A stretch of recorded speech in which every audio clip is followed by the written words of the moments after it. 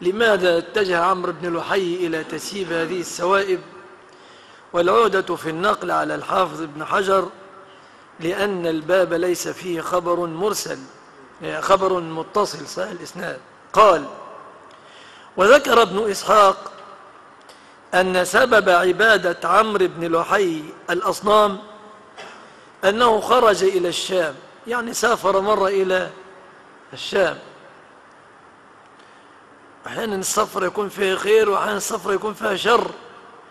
هذه كانت شر عليه وعلى الخلق كلهم الذين اتبعوه. قال فخرج إلى الشام وبها يومئذ العماليق. قوم يقال لهم العماليق ينتهي نسبهم إلى رجل منهم كانوا مشهورون بطول الأجسام. قالوا هم يعبدون الأصنام. وجدهم يعبدون الأصنام. فاستوهبهم واحدا منها قال أعطوني صنما. والعياذ بالله. فجاء به إلى مكة. جاء بهذا الصنم إلى مكة. وجد القوم يعبدون صنما. قال ائتني بواحد. فأعطوه صنما. فجاء به إلى مكة فنصبه إلى الكعبة. وضعه بجوار الكعبة وهو هبل. سماه هبل. يعني استوهب منهم صنما وأتى به من الشام إلى مكة وضعه عند الكعبة وسماه هبل. وكان قبل ذلك في زمن جرهم قبيلة جرهم التي كانت في قبل إسماعيل عليه السلام قد فجر رجل يقال له إساف بامرأة يقال لها نائلة. هذه القصة شهيرة دائما تقرأوها في السير وقد وردت في بعض الآثار بل في كثير من الآثار قصة إساف ونائلة. قصة شهيرة جدا. في في في السير وعند المطلعين على التواريخ وعلى أعمال أهل الجاهلية. إساف ونائلة. قال فجر رجل يقال له إساف. يعبرون بفجر أي زنا والعياذ بالله. بامرأة يقال لها نائلة. في الكعبة. يعني عياذا بالله ارتكب هذه الجريمة في الكعبة. قال فمسخهما الله جل وعلا حجرين. فمسخهما الله حجرين. وكان من الجدير إذا مسخ حجرين. أن تتعظ ولا تفعل محرم لكن الشيطان زين للناس العمل. وجعل الناس يعبدون إسافا ونائلة وهما زانيان والعياذ بالله. قال فأخذهما عمرو بن لحي فنصبهما أيضا حول الكعبة فأصبح حول الكعبة الآن آنذاك ثلاثة. عمرو بن لحي أتى بهبل من العماليق واستخرج إسافا ونائلا الممسوخين إلى حجرين وجعلهما بجوار هبل. قال فسار من يطوف يتمسح بهما يتمسح بهما. يبدأ بإساف ويختم بنائلة. يبدأ بإساف ويختم بنائلة.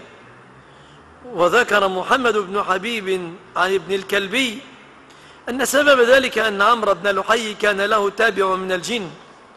يقال له أبو ثمامة. فأتاه ليلى فقال أجب أبا ثمامة. يعني كان كان الاصطلاح المصري يسموه مخاوي ولا؟ آه مصاحب. وهذا كان كثيرا في الجاهلية. كان كثير منتشرا في الجاهلية. كان الشخص الكاهن يصادق جنيا والعياذ بالله. يساعده أحيانا ويستمتع به هذا يستمتع بهذا وهذا يستمتع بهذا هذا يستمتع بهذا في باب وهذا يستمتع بهذا في في باب والعياذ بالله.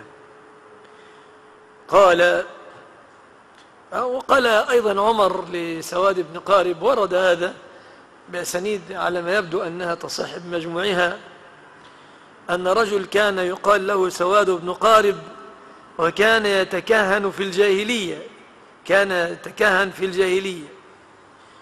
فأتته جنيته ذات ليلة. أتته الجنية ذات ليلة. فقال أتاني رئي بعد عمر؟ سأله لما أسلم.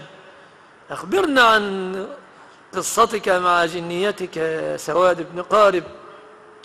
قال كنت نائما ذات ليلة فأتتني آه، جنيتي. قال أتاني رئي بعد ليل وهجعة من الليل وقد ولم أكن قد بليت بكاذب. فذكر أبيات شعر طويلة وقال فيها عجبت إلى الجن عجبت إلى الجن وإبلاسها ويأسها من بعد إنكاسها. تهوي إلى مكة تبغي الهدى. ما مؤمن الجن كأنجاسها. العفريتة جاءته بهذه الأبيات أبيات طويلة لكن هذا القدر متكرر في, في الأبيات. عجبت إلى الجن وإبلاسها ويأسها من بعد إنكاسها. تهوي إلى مكة تبغي الهدى. ما مؤمن الجن كأنجاسها. فكرر هذا البيت وقال قم الحق بهذا الرجل الذي جاء في مكة واتبعه. مضمون كلامها. فكانت جنيته سببا في إسلام. فكان من الناس من يصادق الجن ويستمتع بعضهم ببعض كما قال تعالى كما قال الله سبحانه في كتابه الكريم ويوم يحشرهم جميعا يا معشر الجن قد استكثرتم من الإنس وقال أولياء من الإنس ربنا استمتع بعضنا ببعض وبلغنا أجلنا الذي أجلت لنا. جدير بنا أن نتفطن لمثل هذا إخواني ومن التف... الذي نتفطن له لأن له واقع عملي وإن كنا لا نراه. فنحن متفقون كمسلمين على أن الله سبحانه وتعالى قال هو أصدق القائلين إنه يراكم هو وقبيله حيث لا ترونهم فالجن يراك من حيث لا تراه متفق على هذا. ذكر الشيخ الإسلام تيمية رحمه الله في أسباب الصرع التي أحيانا تحدث لبعض بني آدم الصرع الذي يحدث لبعض بني آدم رجالا أو نساء رجالا أو, أو نساء. قال إن من أسباب ذلك لذلك أسباب متعددة. ذكر منها ما هو مشاع عند العامة والله أعلم بصحته أنك قد تقتل جنيا أو تصب عليه ماء ساخن في الحمام أو نحو ذلك. وذكر سببا آخر هو الذي أريد الإشارة إليه أن الجني العفريت قد يرى امرأة متجردة من ثيابها. قد يرى امرأة متجردة من ثيابها فيعجب بها فيصرعها للاستمتاع بها. أن الجنية قد ترى رجلا على هذه الحال فتعجب به أيضا وكل شيء بإذن الله فتصرعه كي تستمتع كي تستمتع به. قال ابن ابن تيمية رحمه الله وهو أخف أنواع الصرع. يعني أخف أنواع الصرع. هذا النوع من الأنواع. فالشاهد من هذا كله أننا نتحفظ أيضا ولا نتجرد تجرد العرين أو العرين كما قال البعض. فعلينا أن نتحفظ لأن هناك من يراك. هناك من يراك وأنت لا تراه. جن يرونك ملائكة تراك ورب العزة يراك سبحانه وتعالى. فالتستر مطلب والله أعلم. قال آه، الشاهد أن عمرو بن لحي على ما حكاه ابن الكلبي كان له تابع من الجن يقال له أبو ثمامة. فأتاه ليلة فقال أجب أبا ثمامة. فقال لبيك من تهامة. قال لبيك من تهامة يعني أني جئتك من بلاد تهامة معروفة بلاد تهامة الآن. قال ادخل بلا ملامة. فقال ائت سيف جدة.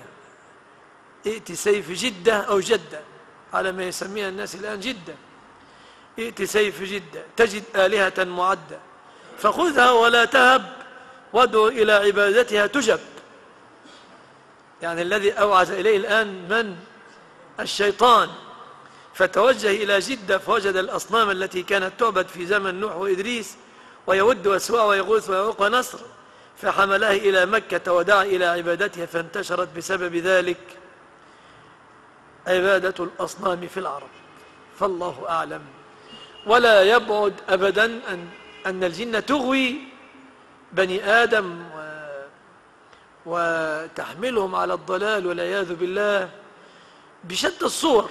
قد قال تعالى واستفزز من استطعت منهم بصوتك وأجلب عليهم بخيلك ورجلك. فله رجال وله جنود وله فرسان وأجلب عليهم بخيلك ورجلك وشاركهم في الأموال والأولاد.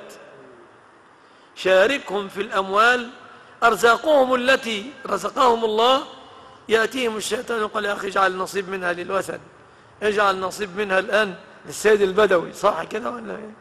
قال لك اجعل نصيب منها للسيد البدوي أو لإبراهيم الدسوقي. أو يريد بذلك أن يثبت عندك أنك تطلب كشف الضر أو جلب النفع من هؤلاء الأموات. في زمان الرسول كانوا يقفون أو يوقفون ذلك للأصنام.